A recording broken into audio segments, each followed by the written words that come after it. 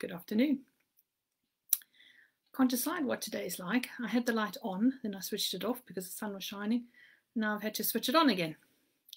And Rich was on his way out in his shorts and came back in, in again and said, I think I need to put my jeans on. So it is rather a strange day. I hope you've had a good morning. We've been at school as usual, and today it was fractions, equivalent fractions, so I feel like I conquered those. And it's lovely that you can join me for our quiet, short reflective service now. And we begin with a moment's silence.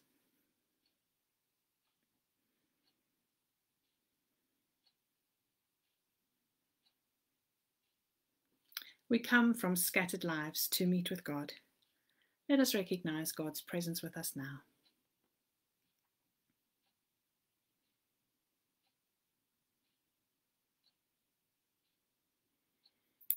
As God's people, we have gathered. Let us worship God now together, across the miles, yet joined. And so we pray. Come, Holy Spirit, fill the hearts of your faithful people, and kindle in us the fire of your love. Through Jesus Christ our Lord. Amen.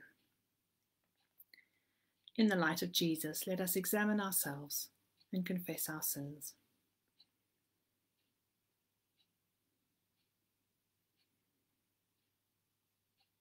Father, we have sinned against heaven and against you. We are not worthy to be called your children. We turn to you again. Have mercy on us. Bring us back to yourselves as those who once were dead, but now have life through Christ our Lord. Amen. May the Father forgive us by the death of the Son and strengthen us to live in the power of the Spirit all our days. Amen.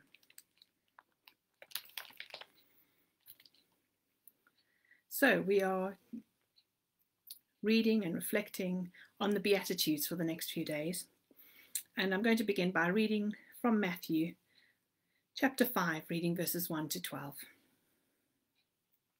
Now, when Jesus saw the crowds, he went up on the mountainside and sat down.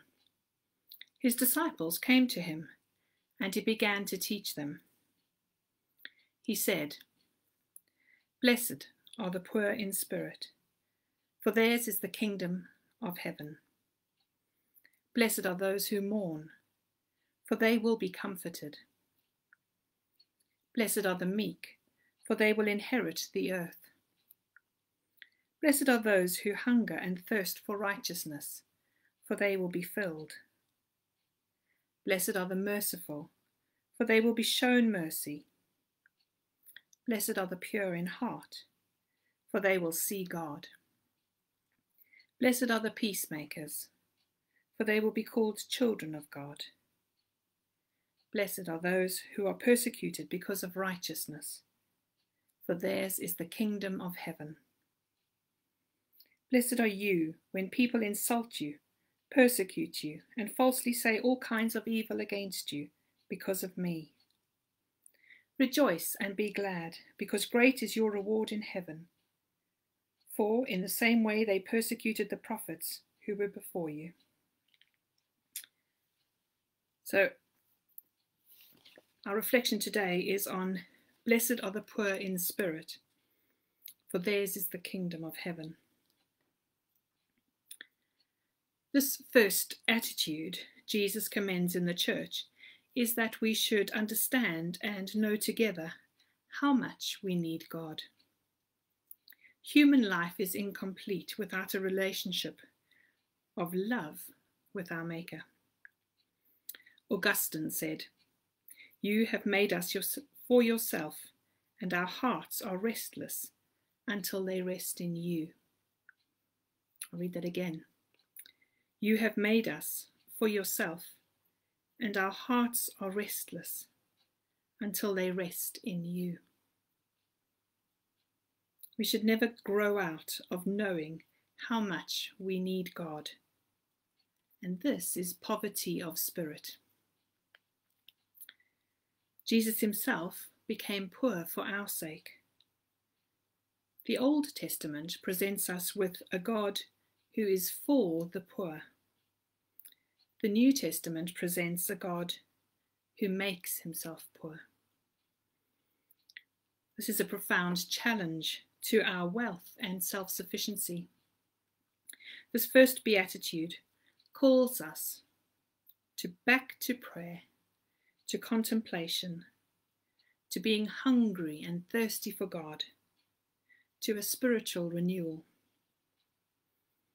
And this is true for us as individuals, but even more true for our life together. If we are poor in spirit, then prayer and worship will truly be at the center of our life together as we gather to be renewed, refreshed, and strengthened by the Spirit each day and each week.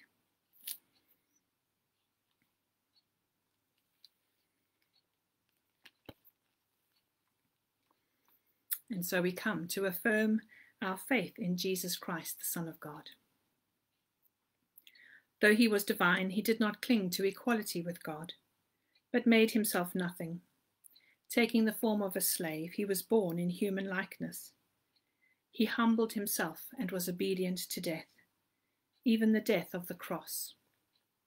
Therefore, God has raised him on high and given him the name above every name, that at the name of Jesus every knee should bow and every voice proclaim that Jesus Christ is Lord, to the glory of God the Father. Amen.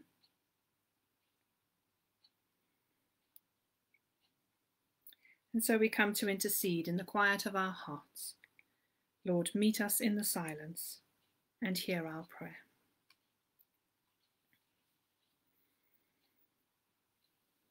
Let us pray for the church, for the world, and for ourselves. Loving God, we pray for your guidance and wisdom as your church finds new ways of reaching out into the world with the good news of your generous love and forgiveness. Gift leaders with the innovation and inspiration that comes from your Holy Spirit, so that your church may be more effective witnesses of your saving grace. Lord, in your mercy, hear our prayer. Lord Jesus, as the world continues to suffer the effects of the coronavirus pandemic, we pray for compassion and fairness in sharing practical resources and medical expertise so that there might be healing and wholeness for all. Lord, in your mercy, hear our prayer. We pray for all those who have influence over the lives of others. We pray that they would make decisions based on kindness and for the common good. And we pray now for those we know who are unwell today.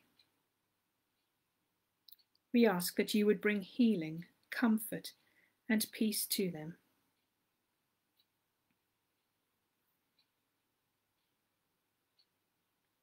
Lord, in your mercy, hear our prayer.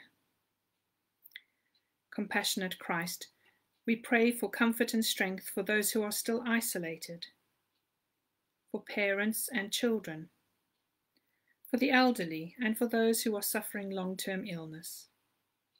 Lord, lift anxiety from those who are worried about the future, their jobs, businesses, and financial problems. May they know that they are not alone, that you are always with them.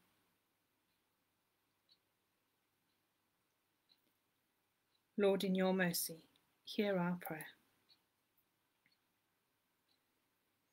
Holy Spirit, we pray for ourselves, for our plans that have been changed, for the people we've lost and missed still, for our hopes and dreams for the future. Strengthen our faith, deepen our commitment to your ways, and help us to better serve God and to see Jesus in those we meet. Lord, in your mercy, hear our prayer. Merciful Father, accept these prayers for the sake of your Son, our Saviour, Jesus Christ. Amen. trusting in the compassion of God. Let us pray with confidence as our Saviour has taught us.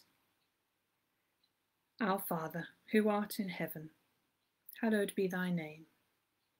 Thy kingdom come, thy will be done, on earth as it is in heaven.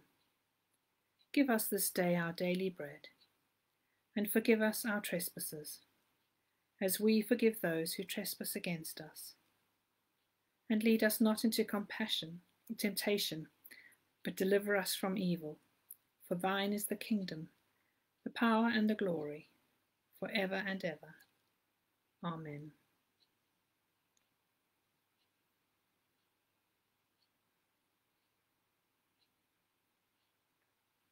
Faithful God, may we who share in this time of worship glory in the cross of our Lord Jesus Christ, our salvation and hope who reigns as Lord, now and forever.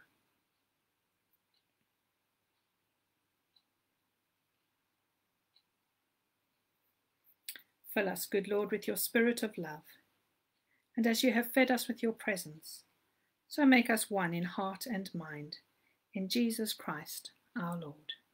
Amen.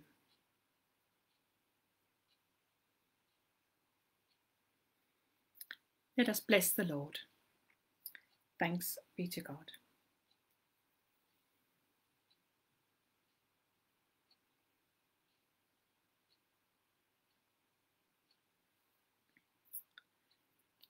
Well, that was an interesting slip of the tongue. Lead us not into compassion. I think I've been thinking of compassion with Mark all morning. We've been talking about diversity. Well, I hope you have a good afternoon, whatever you're getting up to. If you would like to join us for the quiz, email Alice or myself and we can send you the link. I've done the quiz and I think I think it's pretty easy.